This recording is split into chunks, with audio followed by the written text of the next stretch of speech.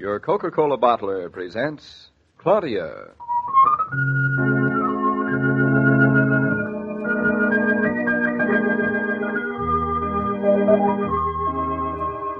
Claudia, based on the famous play and novels by Rose Franken.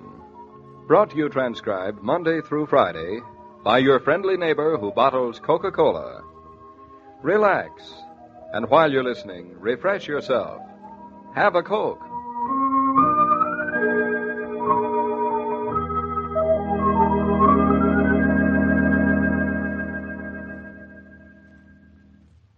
Now, Claudia.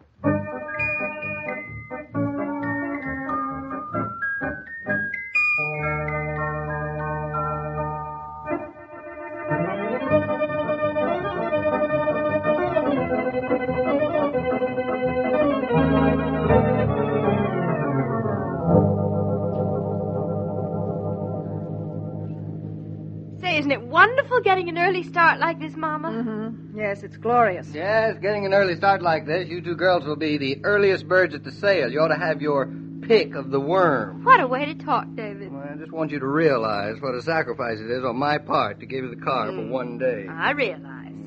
I also realize that any other man would be very grateful to his wife for her trying to save him a fortune by shopping at sales. Especially since we're going all the way to Westbrook for this sale and it's only for your farm equipment. Why, thank you, Mama. We're not even shopping for ourselves, but for milk buckets and brooms and things. So a little gratitude from you, Mr. Naughton, if you please. Mama, you are wonderful, wonderful. I am surrounded this morning. I can see that.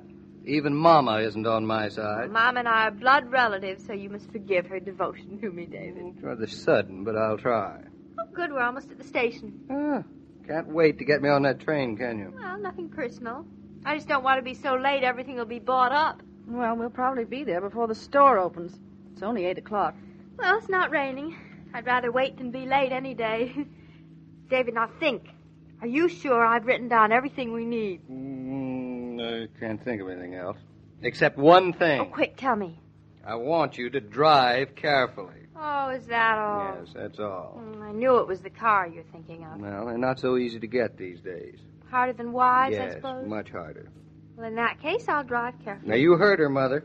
Oh, goodness, I have no influence on her, David. She says one thing with me and does another with you. Now, just remember that you have Mama in the car, and I am very fond of Mama. Well, that makes you fond of Mama and fond of the car. Are You fond of anything else? Hmm, you're very demanding this morning, aren't you, Mrs. Oh, yes, I am. Well, in that case, I am reasonably fond of you, too. Oh, David, you swept me off my feet with those kind words. Nothing at all. So drive carefully and follow traffic regulations. Mommy, hear how he talks to me? David, I think you'd better say that all over again. I haven't the time, Mrs. Brown. Here we are at the station. Claudia, see how he stops that car. Not one jerk. Now listen, Mama. It's all right for David to talk about my driving. He's a man. It's expected of him. But I will accept no insults from you. Besides which, you don't even know how to drive. Uh-oh, uh-oh. There's my train. There's David, my train. listen, kiss me. Don't go without kissing me. Uh, you think I could get away with it? Come on, lean up. I miss you all day. Well, call me at the office when you get home. Can't wait. So long, Mama. See you tonight. Listen, don't work too hard. E- eat a good lunch. Come home early. Goodbye. Oh, Claudia, it's only for a day. Be home tonight. Claudia, what a way to start a car.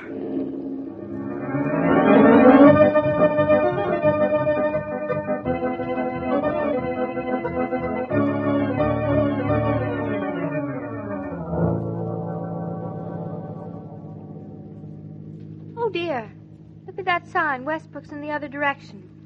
We're going the wrong way. Oh, congratulations. Well, there's nothing serious, Mama. Just a minute lost. I just turned the car around and we're there. Why don't you go around the block? Oh, round the block is way out of the way. We're trying to save time. Yes, and my skin, too. Claudia! Hmm? Oh, you drive this car as if you're on a roller coaster. Now, don't look back over your shoulder. Oh, I was just looking behind me to see if there's a car coming. Have to look behind you, Mama. Well, use that little mirror up there. Mama, I am driving. David uses the little mirror. Well, that's because he wears his collar starched. Now, everything seems to be clear behind me, so as soon as the road gets wide enough. Oh, look, there's Uh, a sign that says no U-turn. Where? Up Where? there ahead, on the right. Well, we'll be past it in a second. Well, it will still be against the law. Honestly, everybody's afraid of a little law. Laws are for your protection Hmm. and other people's protection from you. Yes, well, I'll remember that.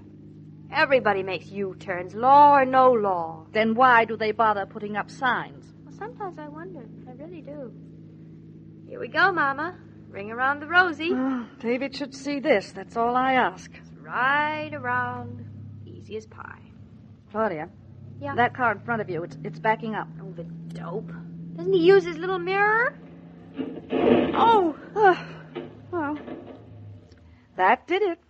Can I open my eyes, Mama? Oh, don't bother now. It's too late. Honestly, don't people look behind them when they're driving? Even I have the sense to do that. Even you. Just wait till I give him a piece of my mind, backing up as if there were nobody else on this road. Well, you're not blaming him. Who else? Obvious I could see him, so I. Well, here, here he comes. Does he look wild? Well, slightly grim. Oh, dear. Men are so righteous. In these matters, they are usually so right. Oh, dear. He's shaking his head as if he didn't believe. Ah. Now he's looking at his rear fender. Claudia, get out and talk to him. He looks sort of, sort of middle-aged, doesn't he? Yes, he does. I bet he's an accountant, Mama. Gray hat and gold-rimmed glasses. He's an accountant. Is he? Goodbye, Mama. Uh, Claudia, uh, just say yes to whatever he says. Oh, uh, hello there, ma'am. How do you do? Uh, too bad, both our fenders dimpled. Yes, so I see. Uh, strange, I didn't notice you behind me. You must have come right up out of the ditch. Well, not exactly. You didn't get shook up or anything. No, we're fine. And you? Oh, sure, sure, fine, fine. Uh, lucky we're not right in the middle of town. Crowds gather round like flies of honey. Uh, silly, I always think. Yes, so do I. Well, it looks like we have just about the same amount of trouble done to our cars. My left rear fender and uh, your right front one. Weren't you looking behind you? Sure, I looked behind me before I started backing up, but uh, I didn't see you there then. Well, I didn't materialize out of thin air.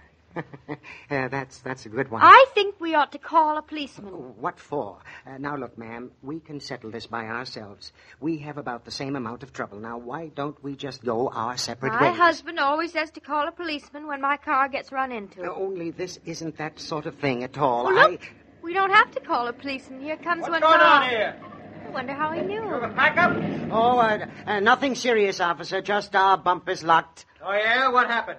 Who did what to who? Uh, I think, officer, we can just settle this by ourselves. Uh, don't you think My so, husband ma'am? always told me to get the name of the other man's insurance company. Does this sort of thing happen to you often, ma'am? Of course not. Only once before. I see. Uh, now, look, lady, take my name and the name of my insurance man, and I'll take yours, and uh, I want to get going. You seem to be in a great hurry. Well, there's no point in fooling around with this thing. My fender's dimpled, and your fender's dimpled, and so what? So, only that I have to explain to my husband that you ran into me. That's all.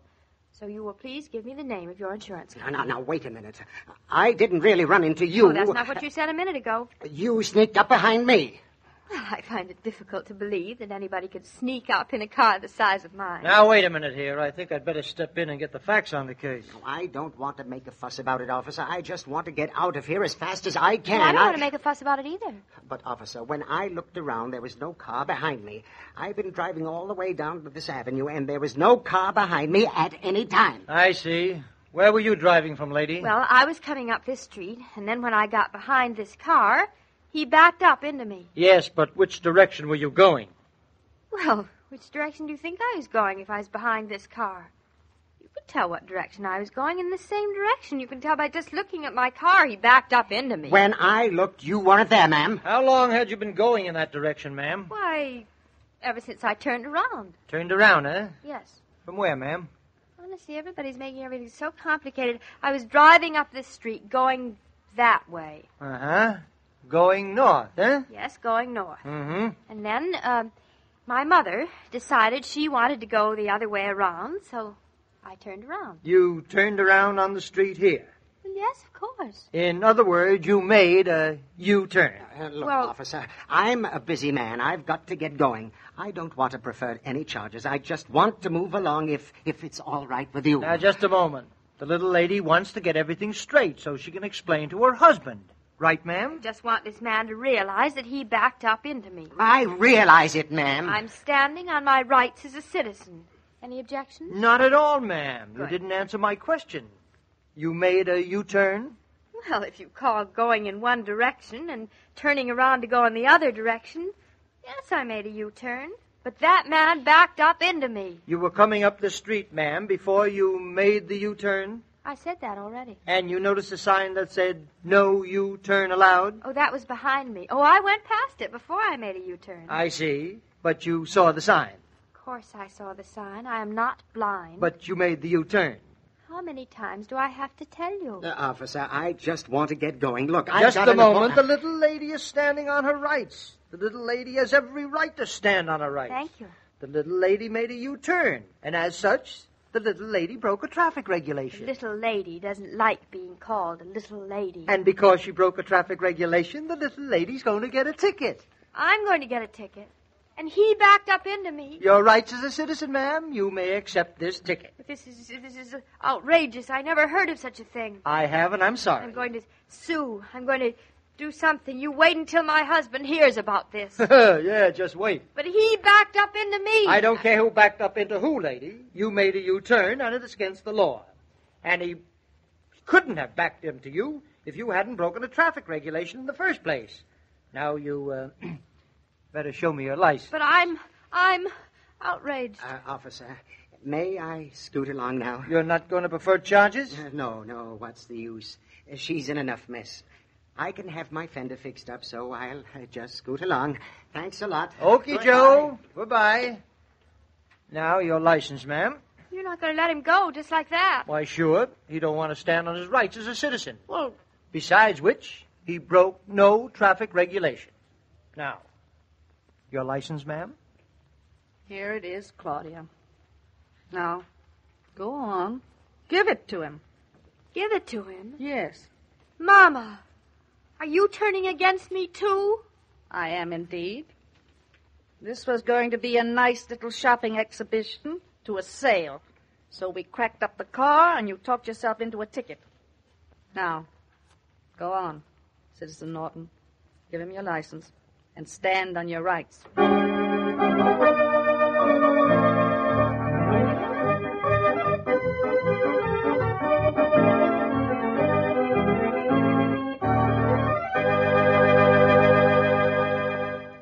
This broadcast of Claudia was supervised and directed by William Brown Meloney. When the man of the house announces that he's asked a few folks to drop in this evening, do you groan and wonder what on earth you can serve them? Or do you smile and say, that's fine, and simply put some more Coke on ice? If there's a case of Coca Cola in the house, there's hospitality on hand. Easy, pleasant, gracious hospitality for guests of all ages.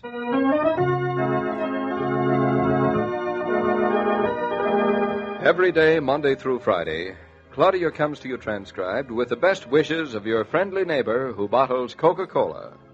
So listen again tomorrow at the same time.